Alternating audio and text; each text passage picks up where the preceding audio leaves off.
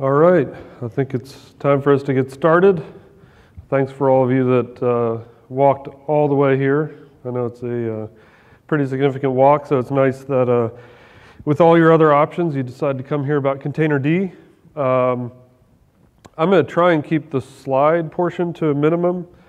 Um, if you are really interested in a lot more detail on Containerd architecture and design, uh, I'm going to briefly kind of overview that, uh, but I'm going to really focus more on the client API and actually we're going to build a, a very simple client together and then uh, I'm going to cheat and jump to like a more complex client that I'm not going to write live because we don't have a whole lot of time.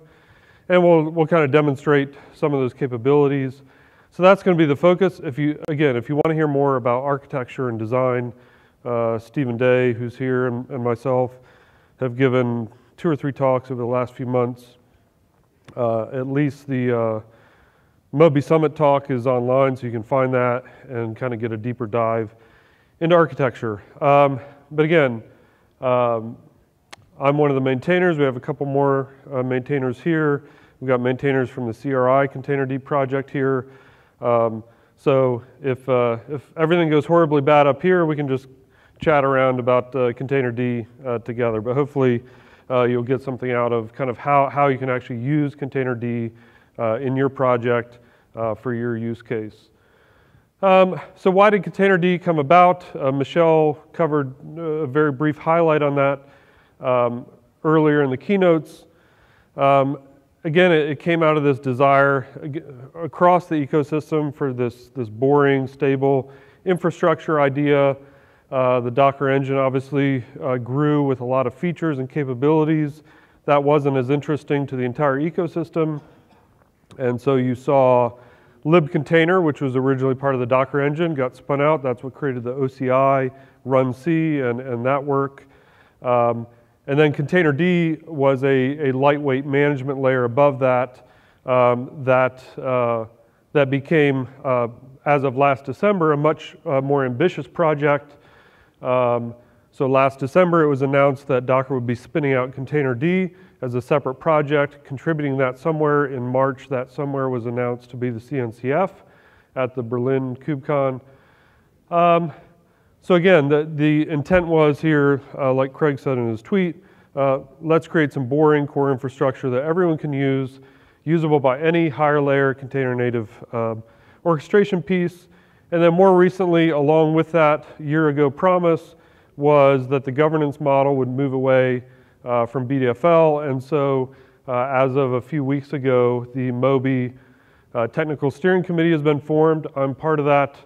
Uh, if you want, again, more information on that, I'm in the middle of writing a blog post about that that should be out soon. Uh, but again, these are all the pieces boring core con uh, container infrastructure, governance that's open uh, contributed to CNCF. So that's really why we have Containerd today. Um, who's using it today? Uh, there are a, a, few kind of core use cases already um, using it actively. We, we've talked to a lot of people who are kind of earlier, earlier on, which I'm not going to talk about here, but hopefully we'll see this list grow. Uh, obviously, a very important use case is CRI Containerd, uh, implementing that container runtime interface uh, so Kubernetes can use Containerd as its uh, kubelet runtime. Uh, LinuxKit, the project out of the, the Moby uh, project for a minimal secure uh, OS image assembler, uses Containerd as its core runtime. And again, higher layers can use that. So if you build LinuxKit, build a Kubernetes assembly, it will actually use Containerd as the runtime. Uh, BuildKit is a new project. There's a great blog post uh, from Tonis, uh, one of the Docker engineers, who assembled BuildKit, again, a container image construction um, uh, builder that's separate from Docker and can use Containerd directly. And then obviously the Docker engine itself, as Containerd has moved from that, uh, that earlier version into the full 1.0 version, uh, you'll see 17.12 if, you're, if we're talking Docker CE versions and above we'll be using this container 1.0 code base. So that's really where you see uh, Containerd used today. As I said, I'm not going to try and unpack this whole architecture. Um, there's a couple things that are important to, to say here. Uh, one is that, that the Containerd architecture really applies a lot of the learnings from the history of the Docker engine, all the OCI work.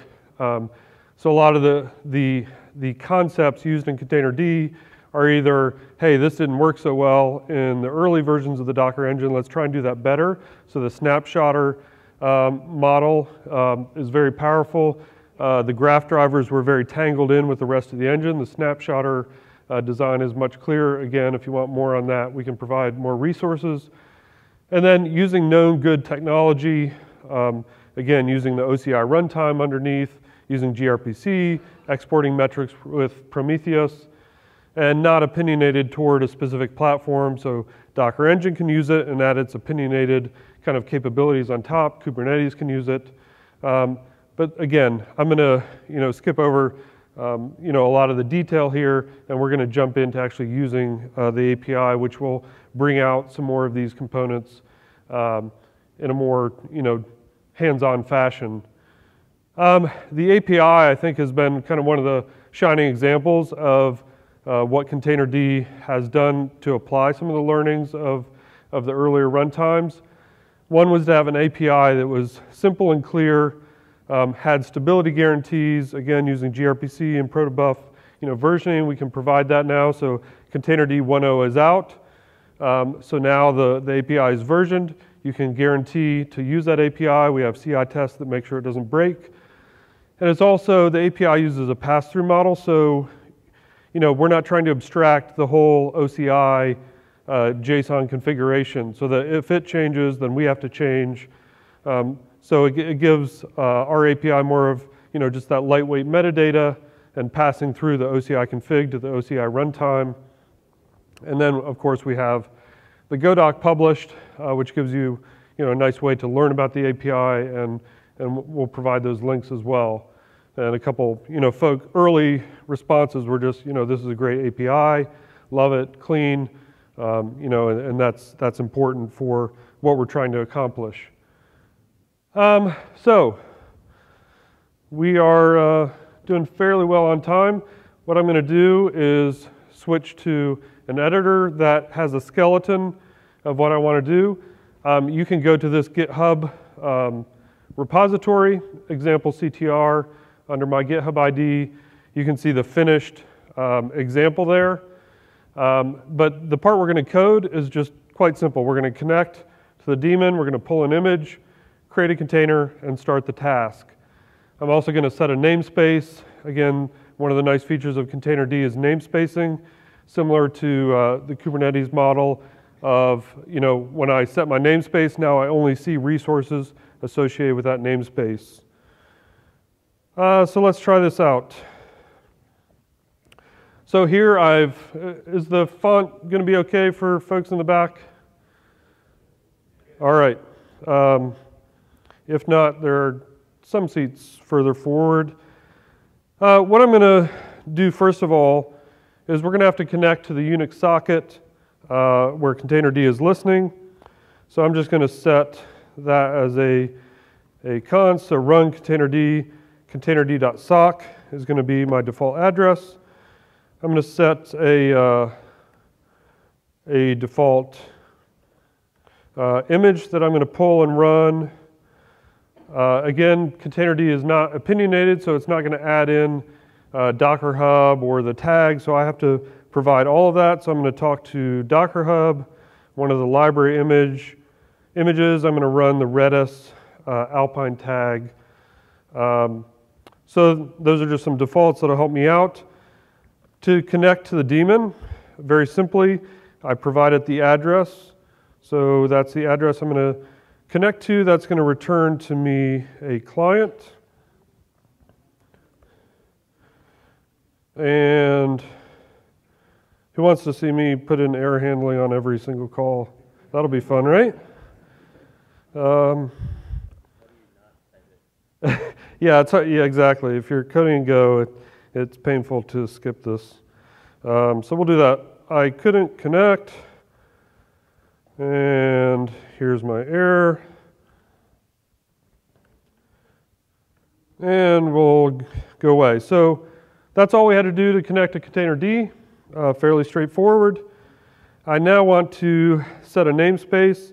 I need another import for that from the uh, namespaces package. And so namespaces with namespace. Um, we'll do context background. And let's just call it example CTR. And that will return the context that I'm now going to use for all the rest of the API calls. So at this point, I want to pull this image that I've already talked about. Uh, one of the things I'll do with my client is I'm first going to say get image with this context, the, the name of the image, the reference to it. Um, because it's possible in this namespace, I've already pulled the image. So this obviously won't talk to Docker Hub and pull the layers and manifest. Uh, I'm going to cheat a little bit and just assume that if I get an error, it means it's not pulled. So I'll actually um, do pull image. Again, uh, fairly straightforward. I'm going to pull that image and I'm going to provide a um, with uh, with pull unpack, which means that containerd, the snapshotter, is going to unpack these layers uh, of my image. Um, if I get an error at this point, we're probably going to have to just get out of here because that means I couldn't even get the image, couldn't pull image and the error. So at this point, I've connected to my client, I've set my namespace, I've pulled an image. Uh, the next thing I want to do is create a container. And this, again, is, a fairly straightforward context, uh, kind of a container ID. Uh, I'll call it example CTR. Uh, now the interesting thing is I, I have a set of, if you look in the Go doc, you'll find a bunch of kind of with helpers, containerd with, um, and one of the things we're going to want is a, um, a, snapshot. I'm sorry, with new snapshot. So that means that uh, now my image is unpacked in the snapshot driver, in this case the overlay. So if you use Docker, Graph driver, the overlay 2 driver, that's your default in containerd. So now I'm saying my root file system, I want that to be um, based on a new snapshot that I'm going to call uh, example CTR, and the parent will be this image that I've, that I've just pulled.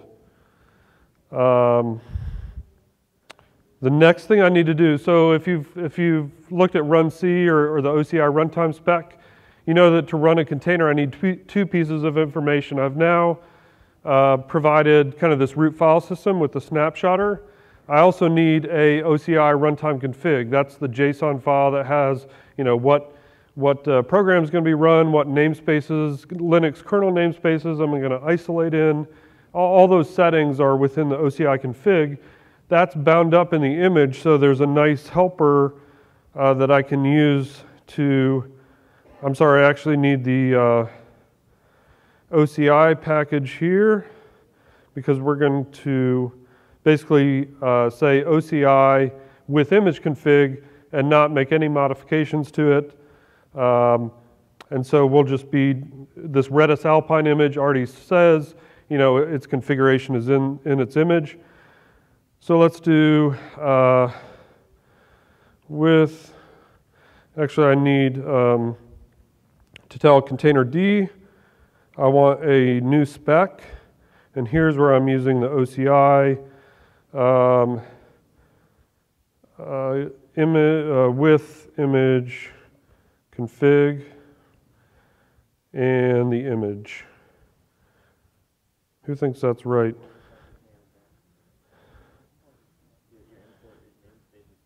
Oh, yep.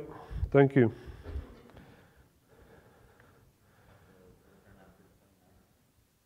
Yeah. See, this is fun, isn't it? If you want to see this done well, uh, look at any Liz Rice talk on YouTube. This is my Liz Rice impersonation talk. Um, all right, so uh, new container uh, with new snapshot, with new spec, OCI, with image config, and what do I still have wrong?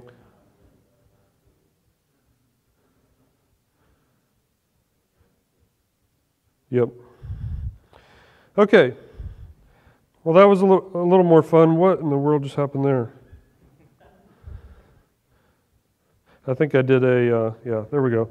Um, so we have a container. That was a little more uh, exciting, but at this point, uh, we don't, obviously we don't have a task, we don't have a running container. This is just the, the metadata is now set up.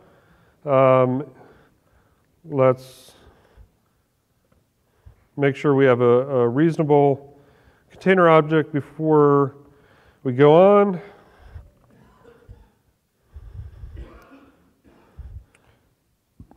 All right.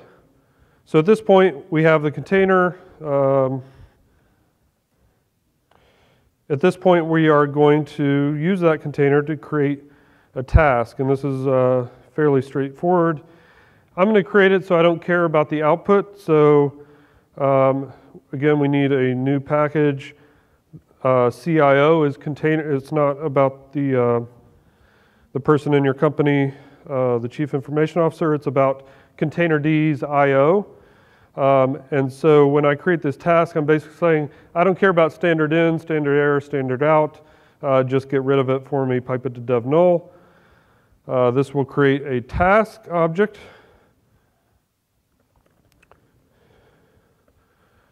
And couldn't create task.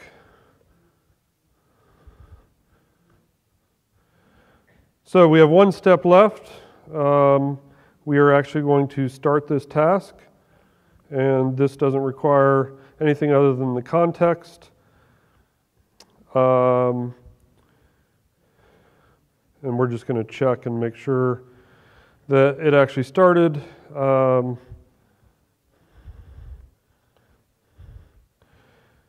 and couldn't start task. And uh, actually, um, we should really delete the task. And we should really delete the container at this point. That makes it easier. We can obviously go, um, this one I always forget, with snapshot cleanup. Yes. So that means that that root file system I assembled uh, will actually get cleaned up and deleted, so I don't have to use the, the snapshot tooling to go do that. And I really should have uh, done this as well here, just to make it cleaner. All right, so in you know 60 lines of code, we've connected to containerd, we've uh, set up a namespace, pulled an image, um, created a container, created a task and started it. Who believes this uh, will actually run? Any votes? All right. All right, so I call this file skeleton.go. I've already vendored in uh, everything into, into this project. Uh, again, you can see this on GitHub under example.ctr.go. Uh, I didn't want to check in the blank skeleton, so I just created that for this. All right, that's built. Uh, you can see I already have containerd running here. This is uh, version 1.0 that we just released a few days ago. I'm sudoing because I need to talk to containerd's socket, daemon socket, which is protected by root. Um, all right, obviously we didn't output anything because we, we nulled all the information, but we should have a started um, container. Sure enough, example CTR. Um, if you wonder why I didn't have to say anything about the namespace, I've already put that in a variable in my environment. So containerd underscore namespace, so I didn't have to type, I could have typed dash namespace, example CTR, and seen the same container. It's running the Redis Alpine image. If we look at tasks, uh, we should actually see that there's one running. If we PS on this system, uh, you'll see that Redis server is actually running. Okay, so we wrote a containerd simple client. Uh, it actually worked. It started a container. Uh, hopefully you see again just the simplicity uh, of the API and how simple it was to assemble that uh, quickly. I'm going to stop the task with the, C again, CTR is a simple command line tool. It's not really something we officially see as part of the Containerd um, promises about stability, but obviously for administrative tasks, uh, it's quite easy to use. So again, I can uh, stop my Redis server. Sorry, I can kill my Redis server task, and I can remove that container, and you can see that it's gone. Um, let's go back to the slides for just a second, um, because I have an advanced example that, I, as I mentioned, um, I'm not going to have time to, you know, add these other API calls, so I've, I've done it for you. We'll look at the code and then we'll, then we'll run it. Uh, but we added some more concepts to the Containerd client. Um, if you know that I've worked on user namespaces and various uh, container runtime contexts, you're not going to get out of here without a, a, user namespace example. So I've added that to, uh, to this um, to this example, I've also added a with helper in my own code. So again, we use some with helpers that Containerd provided us. Now I'm going to add my own with helper to do a, a bind mount for my host. And then we can also do things like an optional custom command to override the image config. So, you know, if you do docker run in some image and a command, uh, it runs that command instead of uh, the default one in the image. So we've added that uh, to this example. So let's go back to our editor. Let's look at advanced. Um, I'll try and skip over the, this is the ugliness that gets produced when you don't use a flag parsing library. I thought it would be easy and then it got really ugly, so don't follow this example. Use a nice uh, TUI library for that. Um, what I've done is I've, I've basically said when you call my example CTR, uh, now you're going to provide a username. I'm going to look up um, to see if that username has any sub UIDs and GIDs. So if you know anything about user namespaces, uh, that'll give me some ranges that I can then uh, that I can then apply to the container config. Uh, and then obviously I've let you specify an image and a command. Um, you can see here I'm using a package that I just copied over from uh, the Moby project that I wrote when I originally did user namespaces. So the ID tools, uh, new ID mappings just does that look into sub-UID and sub-GID and gives me those mappings. Uh, a bunch of this is the same, obviously, connecting, setting my namespace. I've created a, a small uh, object so I can have this run container function and not have to pass around all the client and context. But you can see the same things are happening getting an image, pulling an image, creating a container, uh, creating a task. Creating a task got a little more interesting because now I actually want to modify the OCI config to add in the user namespace uh, configuration. Uh, actually, in this case, sorry, the task, I need to tell uh, runC, by the way, don't, don't uh, make the IOs owned by root or else you know, my user namespace process won't be able to read that. We'll look at new container, which actually does the other thing I was about to, to mention. But once we've done that, all we're doing is creating the task and uh, checking for exit status. Because now if you give me a custom command, I want to know that it actually ran and give you the output. So again, this client is, is a little more um, involved.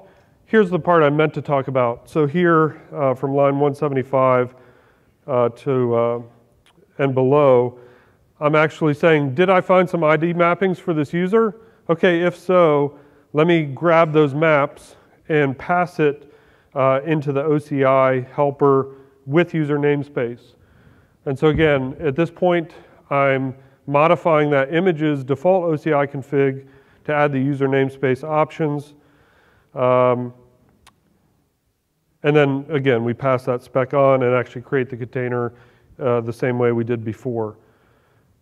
All right, so hopefully that wasn't too, too much of a whirlwind uh, tour through that. Uh, again, this is all in that GitHub project, so you can look at this at your own leisure. Um, I've already built um, this example CTR2.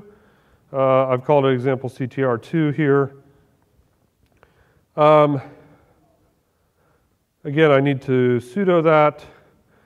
Estes P is my local user. I know I have UID maps already on the system for that. Um, I can provide, let's, let's just run Alpine latest.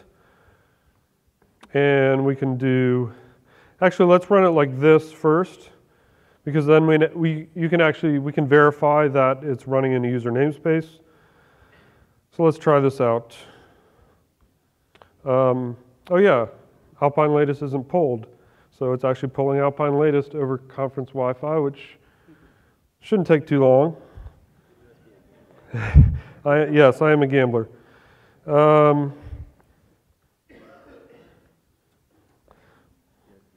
images LS, it looks like it's there. So, oh. Oh, you know what? Don't pay attention to any of this. Um, yes, you'll find out in a minute why, um, why I had to do this, but this containerd um, path was modified. Uh, because in a minute I'm going to run this inside LinuxKit. Uh, hopefully we're going to have time to, to wrap that up. Um, uh, and I had to run a separate containerd because we're working on a bug with user namespaces inside LinuxKit. So I had to point it at a different. So let's try this again. All right, so now we have a running container. If I look at the task, uh, there's its PID. If I grep 31698 out of aux, you can see that UID 100,000 is running the shell in this Alpine container. Okay, so simple enough. We now ran a container with user namespaces using my advanced, quote unquote, advanced client, um, and that was easy enough. Um, let's actually get rid of this task and delete the container. As you can see, I also added um, something to the ID so I can run more than one container and not clash on the name. That's just the PID of, of the example CTR. Um, so the other thing I talked about, let's look back at the editor for a second. I have a utils um, program, utils, uh, it has a couple more tools. You could build out your client a little more with stop, delete, so again, you don't have to use the CTR tool for that. But here I've added with mounts. Um, and the way I've done this, just for demo purposes, is I actually look for a file in the local directory called mounts. I expect that inside it I'll have a target, the type of mount like bind, and the destination. And then I'll, I'll basically modify the OCI spec. So you can see at the end here I'm appending a new mount to the specs mount. So this is my own with mounts helper that I've created. So now my client has the ability uh, to do mounts. And let's just, uh, actually I think I already had a mounts file here in the local directory. I'm going to mount Etsy hosts, uh, bind mount that. Let's, let's do something uh, more interesting. I'll Let's just mount that over home in Alpine so you can make sure that uh, it works.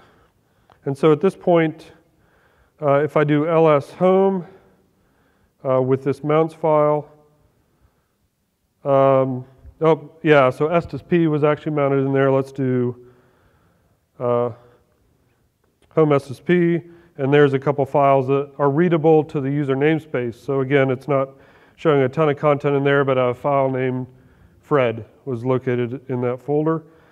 Um, but the problem is when I'm doing this, uh, one, of the, one of the trickiest problems with user namespaces is that because my process is running as an unprivileged user, usually the volume I'm mounting, um, you know, doesn't have the right permissions. And now if I run multiple containers with different mappings, um, I can't, you know, actually come up with a with uh, privileges and, and permissions that make sense. And that's pretty frustrating to a lot of user namespace uh, interested parties who want to use it in a broader way. And so what I'd like to kind of finish with um, is that uh, LinuxKit is an interesting way to try out new features in the Linux kernel. That's one use case of many. And so there is a ShiftFS um, uh, patch set that is attempting to solve this, this problem of mounts um, inside a user namespace. And so what I've done is I've already, um, I've already uh, created a LinuxKit assembly. Again, if you look in my GitHub project, I don't have time at this point to, to go through that. You'll see, um, you'll see the uh, uh, LinuxKit directory, and you'll see a YAML file in there called shiftfs, and that's what that's what's being used to build this uh, LinuxKit image. There's also scripts to build that there. Uh, here you can see I'm running LinuxKit. As I said, I'm already running my um, my own container containerd here um, that example CTR is using. Um, so if I run example CTR2 here, uh, if you look in that YAML file, I created two users, Bob and Alice. They have different, um, they have different uh, UID mappings. So if I run a container uh, for Bob, um, we should see a container was created. And if we um, look at that one, uh, PID 1094. It's running as UID 100,000. If we look at sub UID, we can see that's Bob's range. Um, if I go over here and run another one with uh, Alice, and I now have this other um, container running with PID 1170. You can see that's running with UID 200,000. Now what if I mount the same volume into each of their containers um, or bind mount a directory from the host? They're not going to have permissions to access that. Um, I was going to show both modes where I couldn't have access and where I could, but we're running out of time pretty quickly. So let me kill these, um, these tasks if you'll give me a minute to type. Um, and just remove the containers just to make the output clearer when we start the other ones. LinuxKit isn't being friendly to my uh, output here, but that's fine. Um, so at this point, I should have no containers running. As I said, the example CTR2 looks for a mounts file. So if I do mounts Shift FS and copy that here to where I'm going to run it. And we look at this, um, this file, you can see it's going to take home uh, from their var external volume. Again, this is inside my LinuxKit VM. Use the Shift FS driver that I built into LinuxKit and mount that on home in the container. Um, so now if we start Bob's container, um, and we start Alice's container from here. We have both of them running. Um, I've got a simple script that, so I don't have to type the whole command. But uh, if I go, in, if I exec into those containers, so I'm going to go into, I think this is Bob's, the first one I started, and I look at home. It's empty right now. Uh, but if I touch a file, I can actually, um, I can do that, and it actually looks like it's owned by root here. We'll go, obviously we can go out into var external home, uh, sorry, external volume, and we can see that that was actually created with UID 100,000, 100,000, which is uh, Bob's ID within the container. Uh, obviously, we can do the same thing in Alice's container. Um, let's look 1404. As I'm running out of time, my typing is getting worse and worse. So we can actually see Fred, but he's, he doesn't match any ID in our container, so he's assigned the nobody user. Uh, I'm going to um, touch Alice in here. Was I in home? Let's do that again. And if we go back to var external volume, we can see that that was created with 200,000, 200,000. So again, I've had to rush uh, through this part because we're basically out of time. Uh, but again, Shift FS is giving us a way to do that um, without being blocked by the permissions. Shift FS needs more work upstream, but LinuxKit gives us an easy way to play with those features. And with my Containerd client, I can actually try out those features. Um, so a few final slides. There are some resources here. I'll post these slides in, uh, as soon as uh, we're out of this talk. Uh, if you want to see more interesting uses of the API beyond kind of what I've just showed you, look at CRI Containerd. You can look at my Bucket Bench project, which has a Containerd driver using the same API. You can look at libcontainerd in the Moby project. These are all users of the API.